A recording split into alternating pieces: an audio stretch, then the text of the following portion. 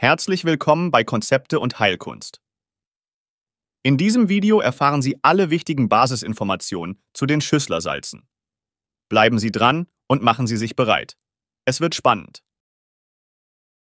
Die Schüsslersche Heilweise geht zurück auf den in Oldenburg lebenden homöopathischen Arzt Dr. Wilhelm Heinrich Schüssler. Er ist der Begründer der biochemischen Heilweise. Sein wichtigstes Werk ist ein kleines Buch mit 60 Seiten mit dem Titel Eine abgekürzte Therapie. Mit Sicherheit haben Sie schon einmal gehört, dass der menschliche Organismus Mineralstoffe zum Leben benötigt. Auf der einen Seite braucht der Körper große Mengen an Mineralstoffen als Baumaterial für das Wachstum. Die für das Wachstum erforderlichen Mineralstoffverbindungen sind in der Nahrung und in diversen Nahrungsergänzungsmitteln enthalten. Zusätzlich benötigt der Körper aber auch kleinste Mineralstoffmoleküle, um verschiedene physiologische Vorgänge im Körper ablaufen lassen zu können. Diese Funktionsmittel sind sozusagen die feinstofflichen Werkzeuge in unserem Körper. Schüssler Salzetabletten enthalten hochverdünnte Mineralstoffe, die Steuerungsfunktionen in den Zellen übernehmen können. Beispiel. Damit das Knochengerüst in der Kindheit und Jugendzeit aufgebaut werden kann, sind große Mengen Calcium und andere Mineralstoffe erforderlich. Calcium wird aber nicht nur grobstofflich, sondern auch in hochverdünnter Form benötigt. Feines Calcium steuert die Blutgerinnung und die Funktion der Muskulatur. Treten bei einem Menschen starke Muskelverspannungen auf, so entspannt sich die Muskulatur binnen Minuten wieder, wenn hochverdünntes Calciumphosphoricum als äußerlich als Cremegel verwendet wird. Dr. Schüssler schrieb in der abgekürzten Therapie, die oben genannten Stoffe, Mineralstoffverbindungen, sind die Baumaterialien und die Funktionsmittel der Gewebe. Baumaterial sind sie durch ihre Masse, Funktionsmittel durch ihre Qualität.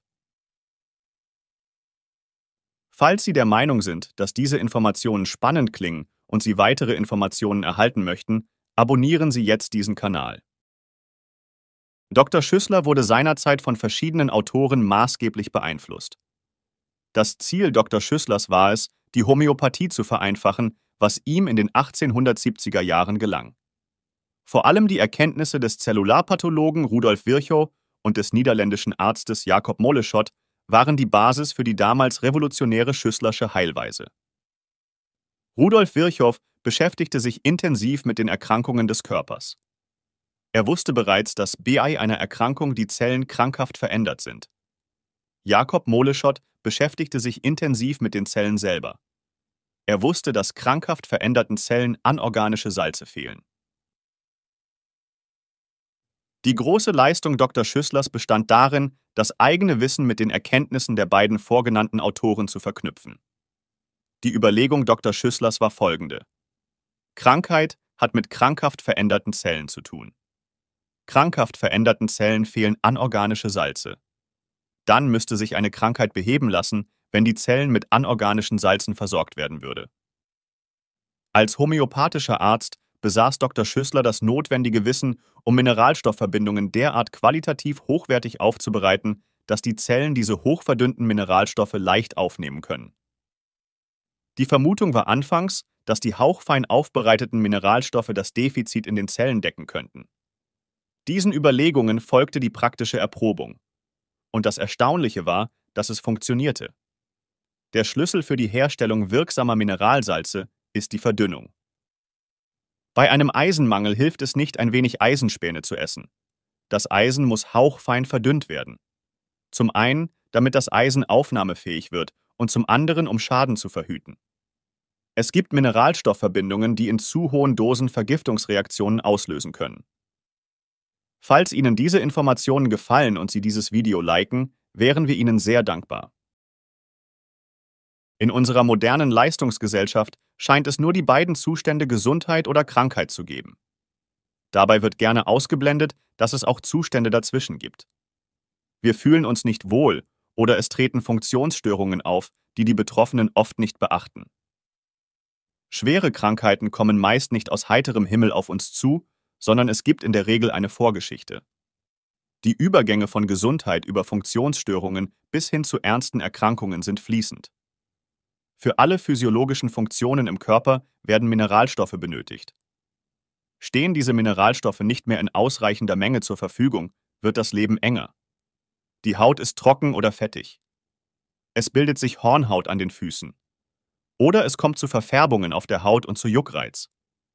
Die Haare sind ebenfalls ein guter Indikator für den Zustand der verschiedenen Mineralstoffspeicher. Haare werden brüchig, dünn oder sind fettig, wenn Mineralstoffe im Körper fehlen. Oder es kommt zu Haarausfall. Die Nägel sind biegsam, splittern oder weisen Rillen auf. Auch das viel zitierte Nervengerüst kann unter einem Mineralstoffmangel leiden. Die Nerven können angegriffen, gereizt oder angespannt sein, je nachdem, was dem Körper fehlt. Vielleicht haben Sie sich schon einmal die Frage gestellt, warum schwangere Frauen Gelüste auf bestimmte Lebensmittel bekommen.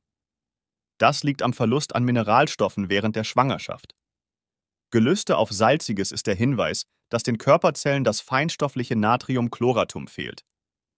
Der erhöhte Bedarf an deftigen Speisen kann Calciumphosphoricum zugeordnet werden. Dunkle Schokolade ist Magnesiumphosphoricum.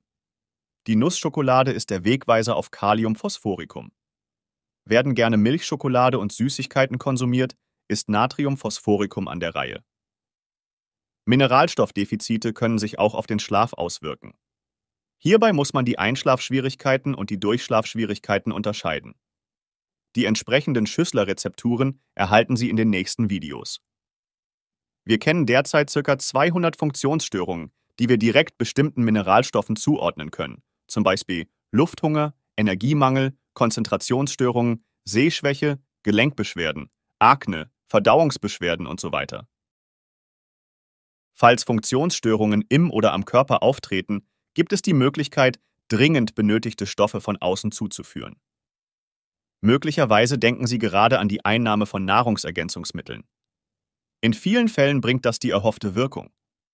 Es gibt aber auch Fälle, in denen die Einnahme von Nahrungsergänzungsmitteln alleine nicht den gewünschten Erfolg bringt, da die feinstofflichen ergänzenden Komponenten fehlen. Die Erfahrung lehrt uns, dass die Kombination aus Nahrungsergänzungsmitteln und Schüsslersalzen in vielen Fällen bessere Erfolge nach sich zieht. Schaut man sich die Schüsslersalze an, so haben sich zwei Verdünnungsstufen in der Praxis immer wieder bewährt. Das ist zum einen die D6 und zum anderen die D12. Die Hauptmineralstoffe von 1 bis 12 sind fast alle in einer D6 verdünnt, mit drei Ausnahmen.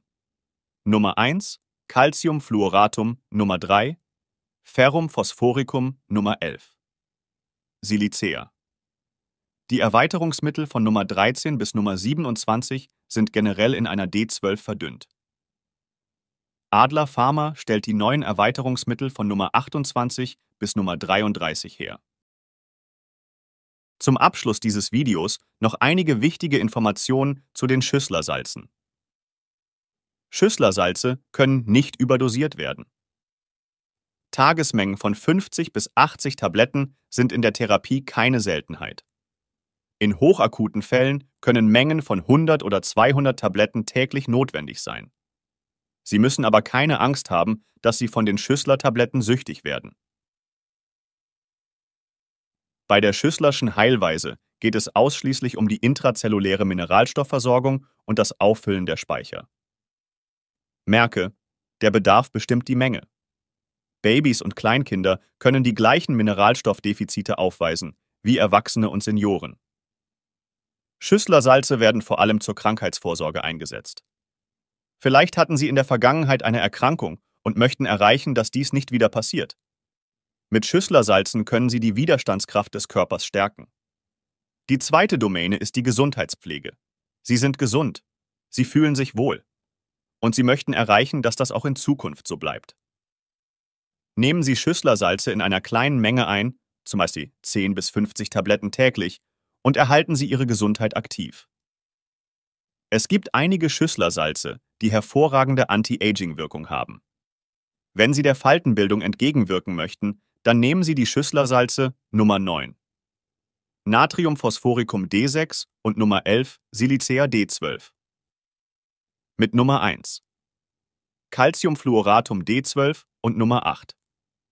Natriumchloratum D6 unterstützen Sie Ihre Haut und sorgen für die Befeuchtung selbiger. Selbstverständlich können Sie Schüsslersalze begleitend zur ärztlichen oder zahnärztlichen Therapie einnehmen. Je nach Erkrankung gibt es viele bewährte Mischungen, die den Körper dabei unterstützen, die Krankheit loszuwerden, falls keine gravierenden Heilungshindernisse bestehen.